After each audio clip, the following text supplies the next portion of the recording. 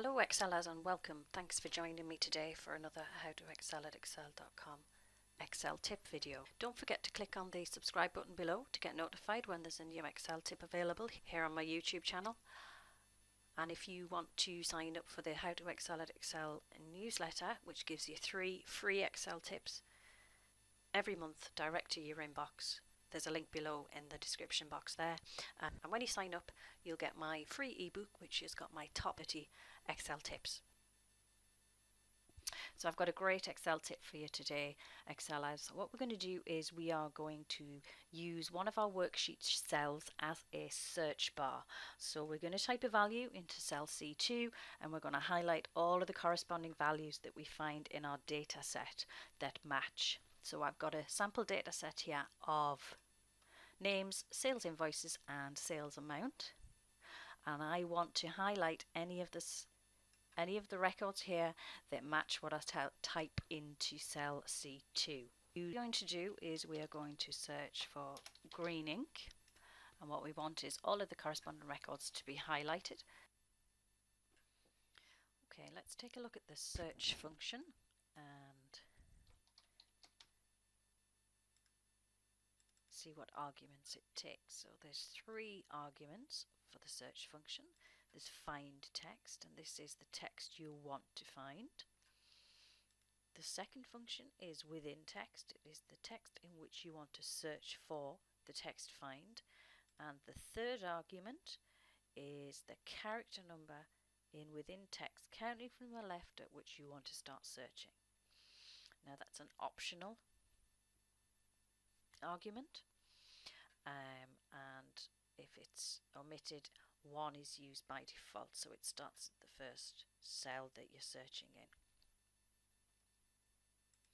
Alternatively you can start to type in Excel and the Excel will bring up the function and you can see the three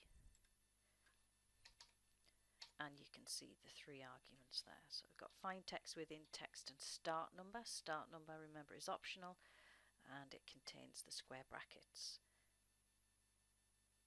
which reminds you that it's optional. So let's go to the Home tab, Conditional Formatting. We want to create a new rule and we want to use a formula to determine which cells to format. So let's hit the equal sign and hit search and type search. And the first argument for the search function is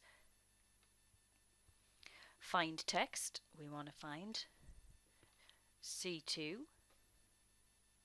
and we want that to be absolute. We don't want that cell reference to change. Hit comma, we now move on to the second argument and this is where we're going to be looking for our text. So that is going to start at cell E3. The third argument is optional and it's the starting position of the text to search. It defaults to 1 so we can leave that blank. Close the parentheses. We want then to select our formatting. Let's select orange, hit OK, and hit OK again. So it's found the first one in our data set. What we want to do is apply the conditional formatting to our full data set. So let's go back to our conditional formatting tab and let's go to manage rules. And here we can see the rule that we have set up and we can see it currently just applies to cell E3 what we can do is take the data selector and highlight our whole data set there hit apply and OK and there we have it's found every instance of greening. So let's just test it again with red limited.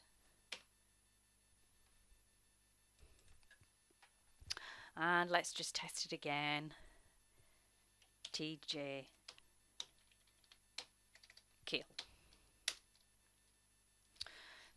Let's just and let's just enter something that's not in our data set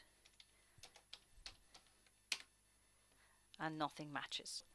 That's it guys. That's how to create or use one of your worksheet cells as a search bar. You use conditional formatting with a formula or a function, which is the search function, and that determines which cells you format. Thanks for watching. Don't forget to subscribe, thumbs up, leave a comment, and I'll see you again for another Excel at Excel.com video.